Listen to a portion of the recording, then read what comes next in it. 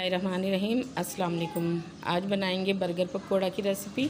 Ramzan special में ये मेरे पास एक कप बेसन है और ये दो तीन अदद बड़े आलू लिए थे मैंने, जिनको गोल गोल स्लाइस में काट लिया। ये देखिए, अंडे बॉईल किए थे। इनको भी इस तरह से काटा है। गोल टमाटर लिए है, शिमला मिर्च, इनके भी चकोर पीस किए हैं। ये बेसन में हम डालेंगे हाफ़ टी स्पून पिसी हुई मिर्च, हाफ़ टी स्पून काली मिर्च डालेंगे। नमक भी हाफ़ टी स्पून डालेंगे। चिकन पाउडर डालेंगे तकरीबन वन टीस्पून के करीब। इससे बहुत अच्छा टेस्ट आता है और इसको अब घोलेंगे।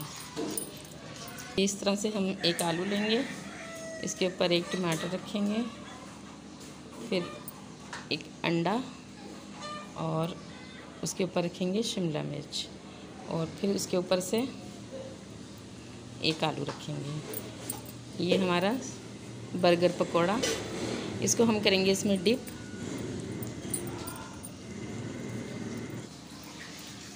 इसको टूथपिक से इस तरह से जोड़ेंगे हम। ये देखिए।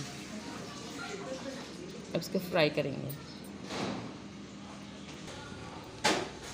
ऑयल गर्म हो चुका है हमारा। ये इस तरह से रख देंगे। सारे इसी तरह से फ्राई करने हैं।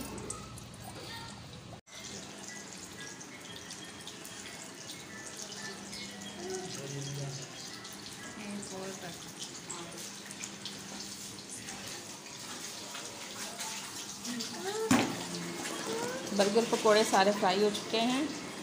ट्राई कीजिएगा, बहुत मज़ेदार बनते हैं। इन फिर एक और रेसिपी के साथ मिलेंगे। अल्लाह हाफिज़।